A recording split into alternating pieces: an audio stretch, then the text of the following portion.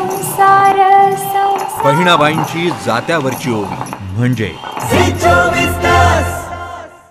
तेव्हा औरंगाबादमध्ये राज ठाकरेंच्या सभेला अवघे काही तास शिल्लक राहिलेत. सभेबाबत मोठी उत्सुकता आहे. राज्याच्या कानाकोपऱ्यातून कार्यकर्ते सभास्थळी दाखल झालेले आहेत. सभेच्या तयारीबाबत आढावा घेतलाय आमचे प्रतिनिधी विशाल करोळे यांनी. राज ठाकरेंच्या सभेला आता अवघे काही तास शिल्लक राहिलेले आहेत. मनसे दावा करताय की ही सभा ऐतिहासिक होणार. मोठ्या संख्येनं लोक इथे येणार. पोलीस प्रशासनानं पंधरा हजार लोकांची परवानगी दिली असली तरी मनसेच्या दाव्यानुसार पन्नास हजारपेक्षा जास्त लोक या ग्राउंडवर येतील असं त्यांचं म्हणणं आहे. आणि त्यामुळे या ग्राउंडवर लोकांच्या बसण्याची ते सोय करतायत. तर दुसरीकडे याच सभेवरनं आता राजकारण सुद्धा जोरात सुरू झालंय.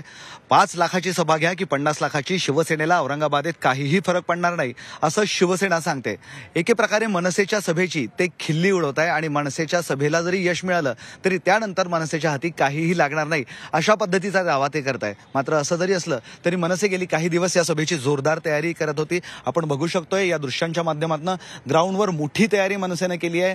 अगदी मराठवाड्याच्या सगळ्या शहरांमधून मुंबई पुण्यातून ठाण्यातनं सुद्धा लोक सुद्धा इथे येत आहे प्रत्येकांना राज ठाकरे काय बोलणार आज भोंग्यांबाबत काय भूमिका घेणार याची उत्सुकता आहे. राज ठाकरे भोंग्यांबाबत जेही घोषणा करतील किंवा ज्याही पद्धतीनं आदेश देतील त्याप्रमाणे सैनिक काम करणार असल्याचं सांगितलं जात आहे आणि त्याचमुळं या सभेला एक महत्वाची राजकीय घडामोड म्हणून सुद्धा पाहिल्या जाते आता अवघे काही तास शिल्लक आहे.